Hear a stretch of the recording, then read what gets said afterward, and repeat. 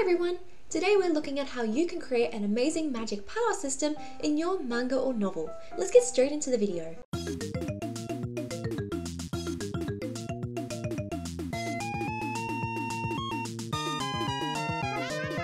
So first of all, what is a magic power system?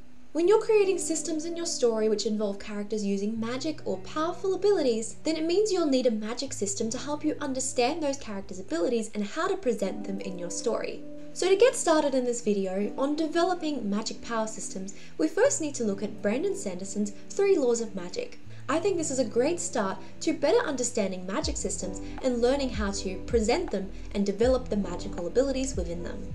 These laws of magic are as follows.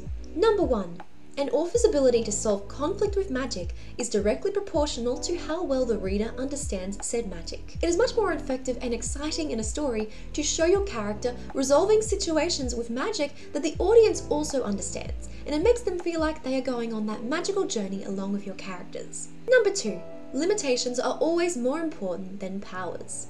This may seem counterintuitive, but limitations are more important than powers, and here's why. When you're creating a story, it's much more interesting to see what creative ways your character can resolve situations through the limited magical abilities they have, rather than being really overpowered and being able to resolve every situation. Even if your character does have a lot of powers and is rather overpowered, they should still have some limitations that makes it more interesting when they do use those abilities. Number 3. Expand on what you already have before adding something new. Before adding anything new to your magic system, expand on what you have already. It is better to have a more simplified system with a more focus on the magical abilities and powers within it, rather than a really overcomplicated system which has multiple abilities and powers which may get confusing in the long run. You want to ensure that your magic power system enhances the story you're telling and doesn't distract from it. So, by expanding on what you already have before adding new things, you can ensure that your system remains simplified enough so that it can fit into the story you're telling. You want to find a good balance of both when you're creating a magic system in order to be able to present that magic in the world and the story you're telling. So, now that we have looked at more at Brandon Sanderson's three laws of magic, Let's go further and talk about how you can apply these techniques and other techniques to creating magic power systems in your manga or novel. Number one, establish your world first. Ensure that your audience understands the world from the very beginning. Whether your world is high fantasy or urban fantasy or more supernatural, different genres can change the way you present that world and the magic within that world. The amount of magic that exists in your world will change how complex your magic system needs to be. The way backgrounds and characters are shown can also provide more information about the world and what kind of magic exists within this world. Number two, know the purpose for magic in your story. Consider why you have decided to craft this magic system and the purpose of it in telling your manga or novel. A magic power system should help to enhance a story and not distract from it. Understand why the magic exists in your story and how you can use those magical abilities to show the world and the characters in your manga. Also consider how that story can be shown through how your characters are using magical abilities in a normal day in their lives. Whether your character is a magical girl who needs to transform in order to save the day, or your character is someone who uses magical abilities in their daily lives, then consider how you should present that magical system in a way that makes sense for the characters that exist within your story. Number 3. Understand the origin of the magic. Once you have established your world, consider the origins of the magic. Some common origins for a magic system include it was always there in the world, so your characters always use magic or abilities in their daily life and it's just normal. A character discovers a magical being or an object which grants them powers, or powers are always granted under a certain condition. For example, the character reaches a certain age, or they do a certain quest, for example, and it's normal in this way. These are some common origins for a magic power system, but there may be other origins as well which you may come up with for your book. So really consider where the magic power system is coming from and how this affects characters in your world. Understanding where your character's abilities come from can also help you to better present it in battle scenes or moments where they need to use those abilities. Number 4. Divide the magic power system into categories. To make it feel less overwhelming, break your magic power system down into categories. This can also help you to better present your magic power system. Here are some random examples of categories that you could try for a magic power system. Characters could have powers inspired by different types of birds. They could have abilities inspired by different types of crystals. Characters could have powers inspired by different types of books.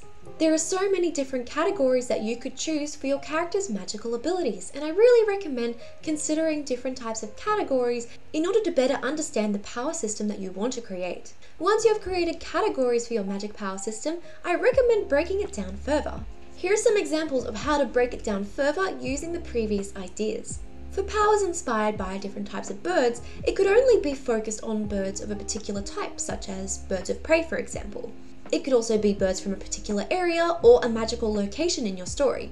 This can help to further break it down so that it is easier to present that power system. For powers inspired by different types of crystals, the magic could only be from crystals of a particular location, for example.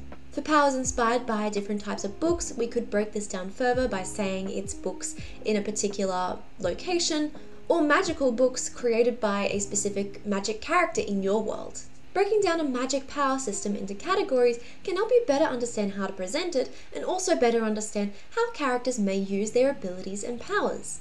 I recommend that along with breaking it down into categories, you could also consider how those different categories look. Maybe you use a color coding system, for example.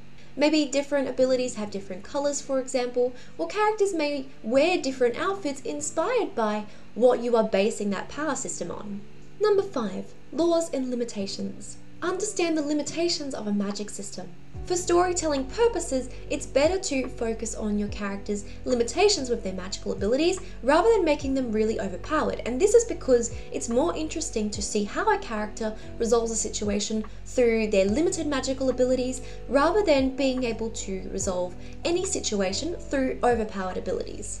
So let's talk about some limitations that you could have that will make your character's magical abilities more interesting when they need to use those abilities or techniques. Powers could only be used for a certain amount of time before they weaken the character. It may take a certain skill level or a technique to use the magical abilities. Characters may need to be in a certain location to use the magical powers. Characters may need to use a certain object like a wand to use the magical powers. Ensuring that your character's abilities have limitations means that you can present those abilities and powers in more unique ways. Number 6. Consider the appearance of the magic. For the sake of design in a manga, consider the appearance of that magic and how it looks when you draw it. Do you draw it in a really detailed and powerful way, or is it more subtle? Does your character need to use a certain item in order to wield the magic, such as a wand or a staff, for example? When they use the magic, how does it look like through your artwork?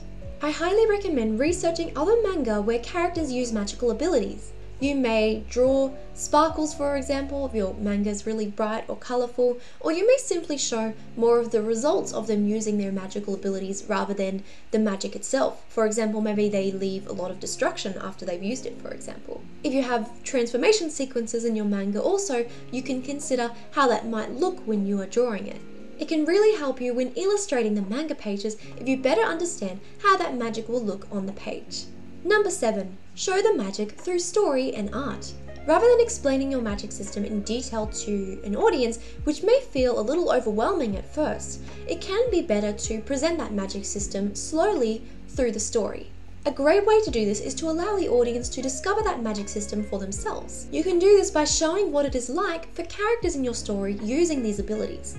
So whether your character has just gotten these abilities, maybe they're a magical girl and they have just gone, gotten these abilities, they would be learning more about their magical powers along with the reader. And you can use that as an opportunity to show how they use their powers as they are learning. For other characters, maybe these magical abilities are normal in your world and your characters will be using their magical powers in their daily lives. Here are some further examples of how you can show magic in your world through the story and art. Supernatural characters may exist in the world which you can draw. Characters may use magic in their daily lives. Characters may have different ways of wielding their magical abilities or have a magical object which can also present those magical abilities. Help the audience understand the magic power system by presenting how your characters use those abilities in your story. Number 8. Keep it simple. Try not to overcomplicate things and make it too difficult on yourself. It's better to focus on a more simplified magic system that enhances the story you're telling rather than something overcomplicated that may distract from the story you're telling. So always keep in mind that the magic system does not have to be detailed, but it can help you to better understand how you can present that magic and use that power system to show how your character uses those abilities within your story. Thank you so much for joining me in today's video. I really hope you enjoyed it. If you did, please let me know in the comment section down below. Let me know more about what magic power systems you're creating in your story. I would love to hear your thoughts. Make sure to visit my website, midnightxcross.com, for free resources which you can apply to your story and also courses with more detailed lessons.